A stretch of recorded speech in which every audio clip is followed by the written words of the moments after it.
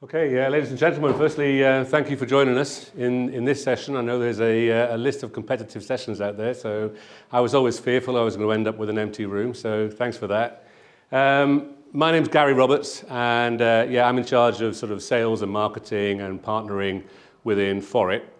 Um, I'll tell you a little bit more about Forrit at the end, actually, because what we were hoping to do in this session was we've commissioned a, uh, a survey of about 250 CMOs, CIOs, CDOs, specifically around their environment of, of, of their web estate, uh, to just learn a little bit more about what keeps them awake at night. Um, and what we were hoping to do was sort of make this a, a two-way interactive session, uh, if you're up for it, to understand how much of this resonates um, and whether this matters to you and, and, and your organizations. So, so yeah, I work for Forrit. They're, they're an Edinburgh-based content management system. Our customers are global, but they're based here in, uh, here in Edinburgh. But I'll tell you a little bit more about them uh, towards the end.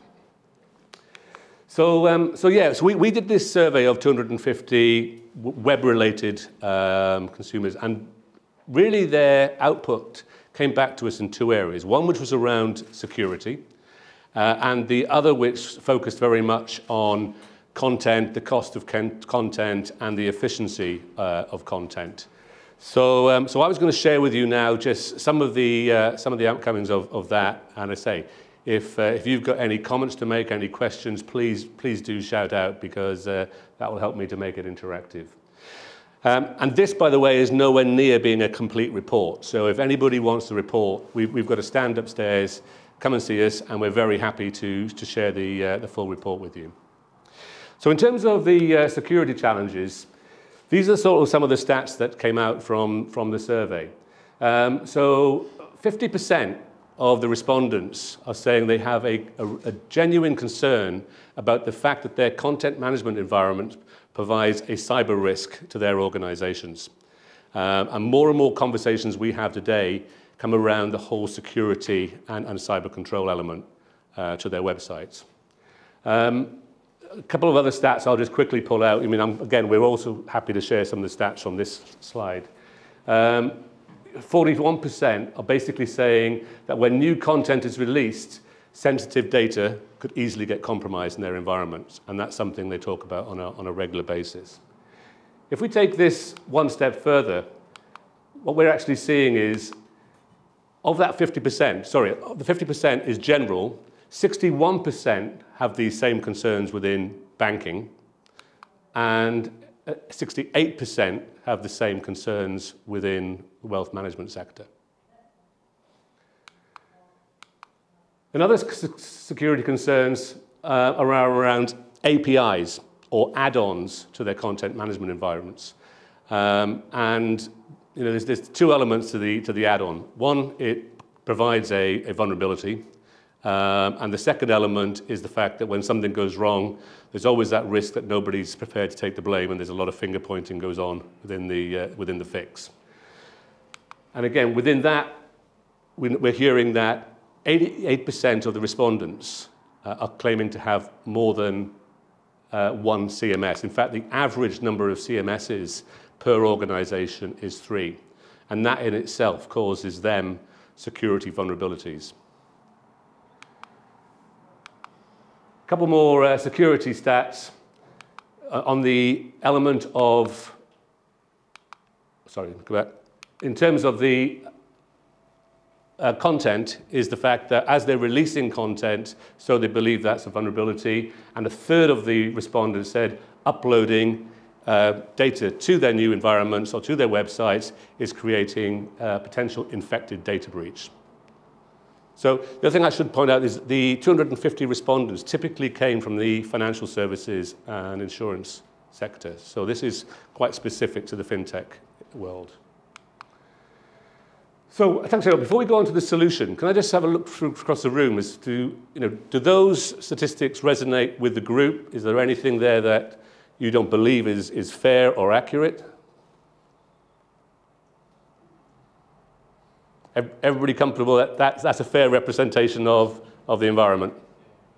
Okay. Does anybody disagree that they think that this has been over-dramatized or misrepresented in any way? And this, this is genuine feedback from me. It's not, a, uh, not any trick questions. No? Okay.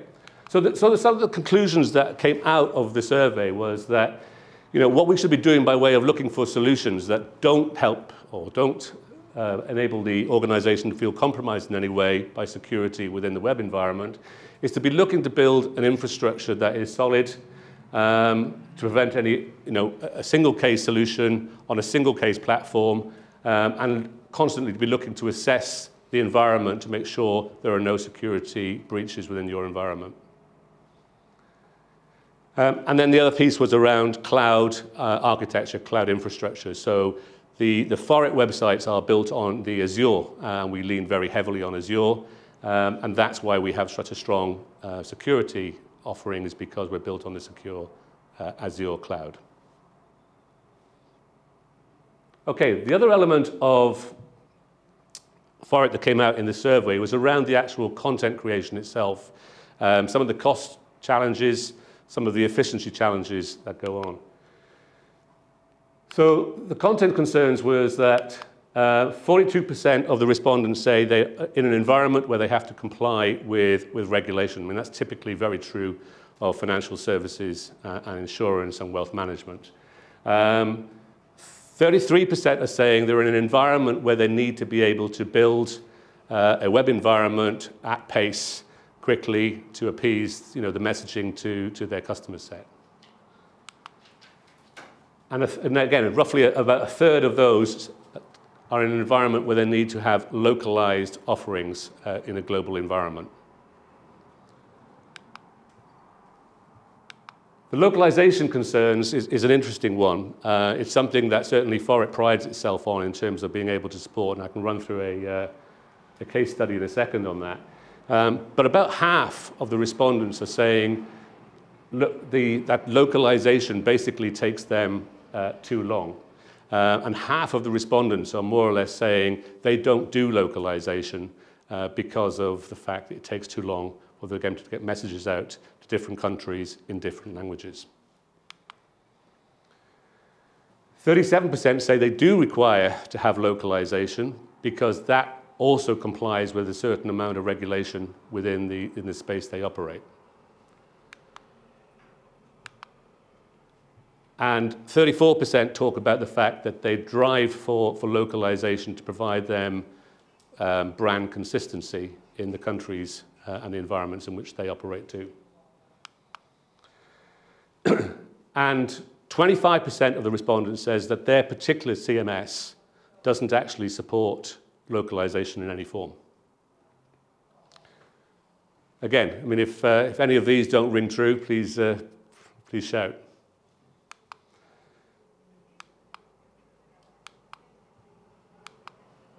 These are some of the uh, current CMS concerns, uh, probably very much in sort of a, a user position. One is 35%, a third of the respondents are more or less saying that their ability to be able to build and load pages is just difficult. Many talk about having to raise IT tickets before they can actually build out a page. It's not something they can actually do under their own steam. About a third again talk about integration uh, as being their issue, integration with other systems uh, and even within other SCMSs uh, within their environment.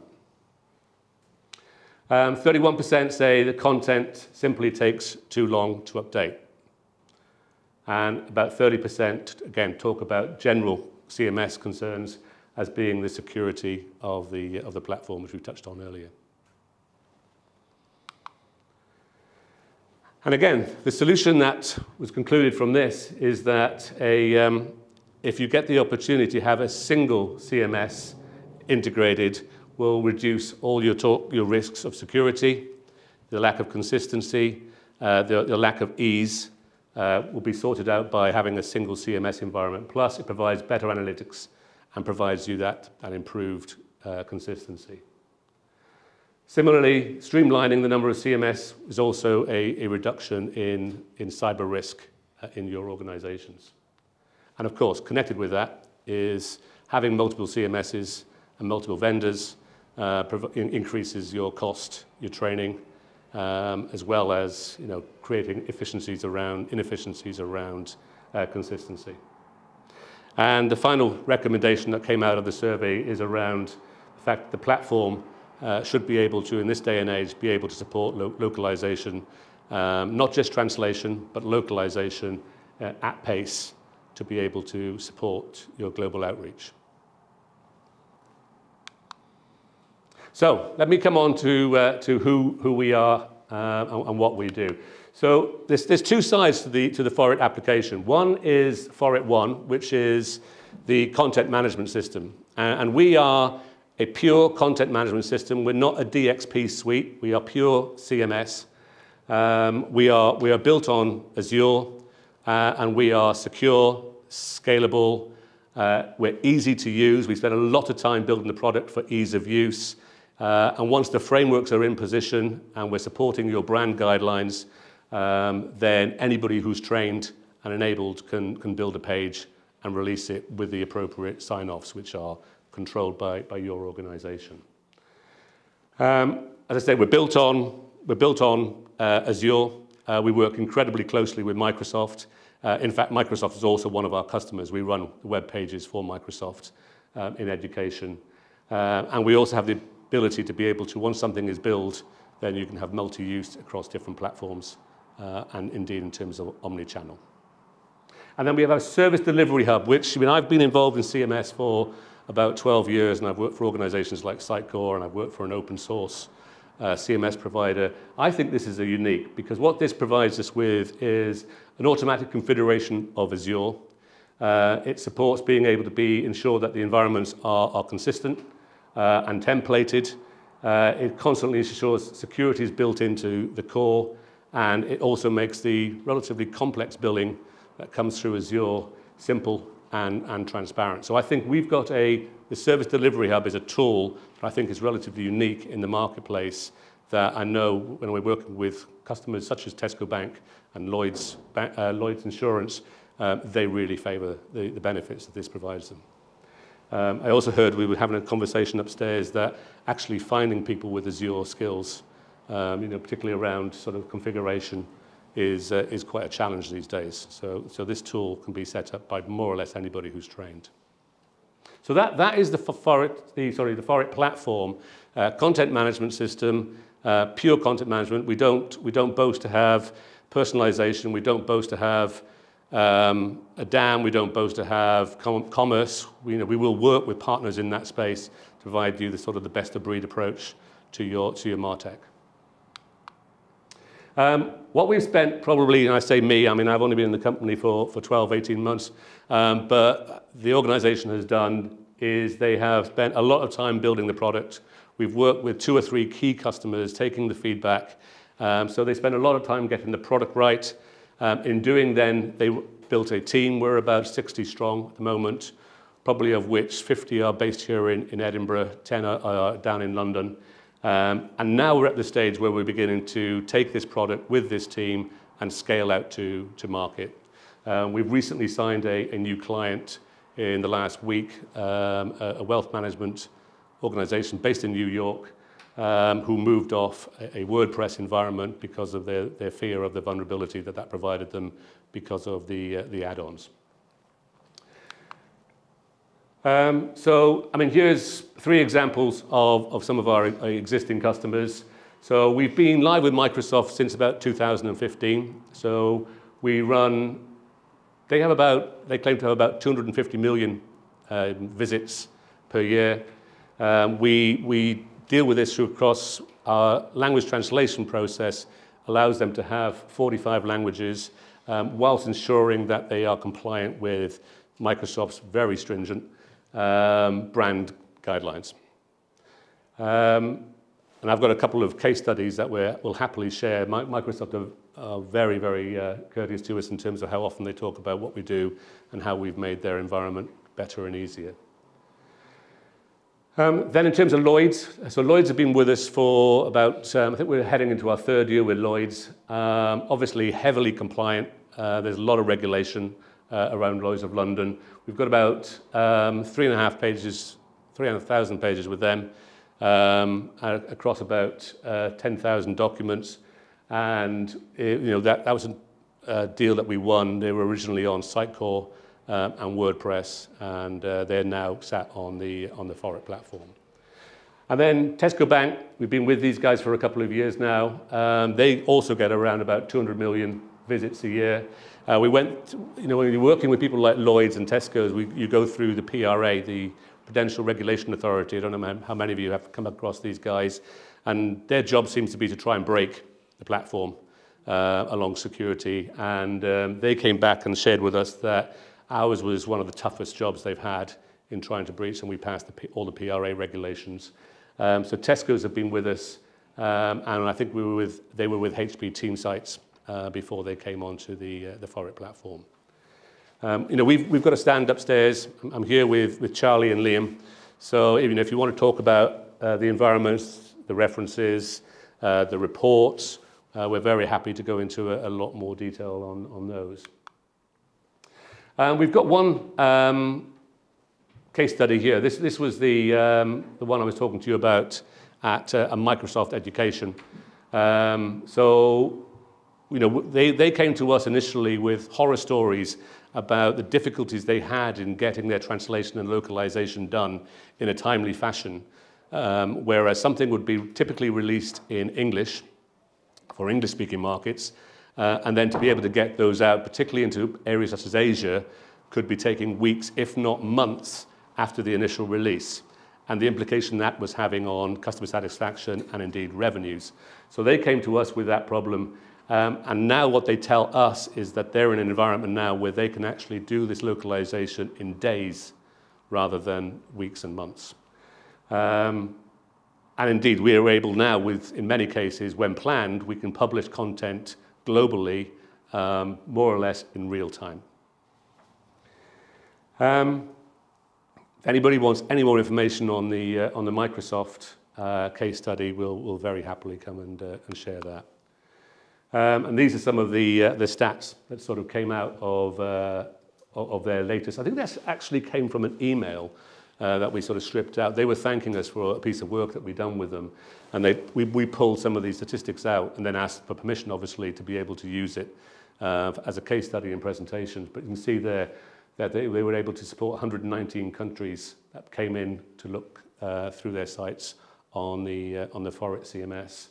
Um, and an improvement uh, in sales engagement of 186% because of that localization and globalization uh, through the Forrit site. Um, so yeah, so that's, that's more or less it. As I say, I've, I've literally skimmed the report to pull out a couple of highlights uh, for this session. There's a lot more in the report, and if you know, come up to the stand, we'll take your details and we'll get those um, sent out to you. Similarly, if you want to talk about any of the content as to who we're working with today, what the CMS might mean to your specific organization, you're very welcome to come up to the stand and have a chat. And we also have the Lego on the stand, which uh, seems to be enticing an awful lot of people. Um, so, uh, so yeah, we'd be very welcome to come up here. But um, in the meantime, um, very happy to take any questions um, or have your thoughts on any of the stats I've shared from the uh, survey. Or are you very hungry and just want to go for lunch? I've been told I'm not allowed to leave you out early, so we've got, hey.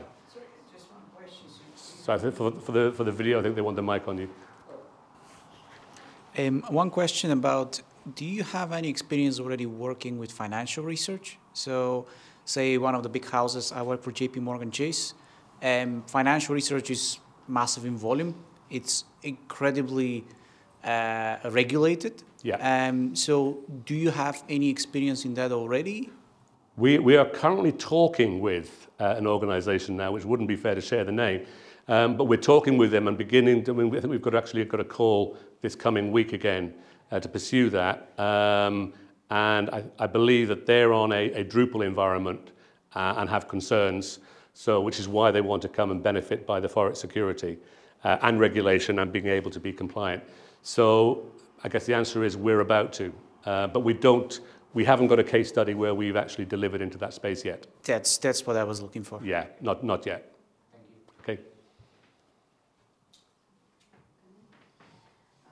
We use WordPress like uh, for our content management, and we uh, I totally agree for that uh, with your survey in terms of uh, like security uh, issue. Uh, for us, all this API we install is a security issue because sometimes we install new and we install them heavily for every reason like for content promotion for everything. And uh, uh, can you a little bit elaborate on uh, localization? Because we do localize our uh, platform for uh, five languages uh, right now. And we have like this problem as well. And how do you solve this how do we make it quicker? For example, we use a Chinese language, Chinese localization, and here when we, uh, we when, when, we produce content in English, normally we need uh, Chinese uh, native speaker to just look through all this uh, new information, and it completely, it sometimes it's completely new for the translation services.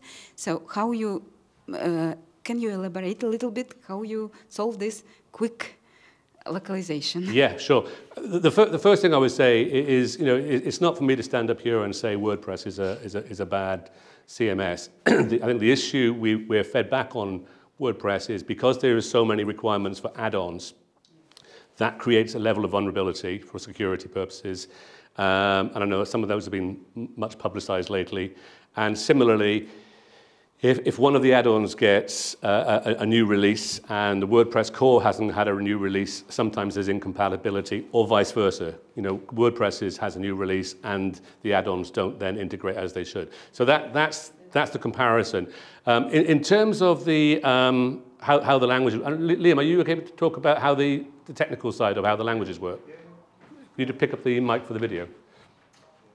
Yeah, hi. So I'm part of the pre-sales team for it. And Technically, um, it's using an Azure Cognitive Service uh, off the back of Forrit. So that's just one way. Um, and obviously, there's multiple ways to do translation. It's quick, and you take a hit on the quality sometimes. For Chinese and Japanese speaking, you have to go through and make sure it's correct because it's, um, it's kind of an outlier. Um, so there's multiple ways in this particular use case, we used the Azure Cognitive Service to do most of the bulk work, and then any detailed content is then manually gone over. So you get 90% of your content out the door really quickly, and then the last 10% you, you go through with a fine-tooth comb to check quality. Do you use generative AI somehow like, to improve or to improve the past uh, and quality?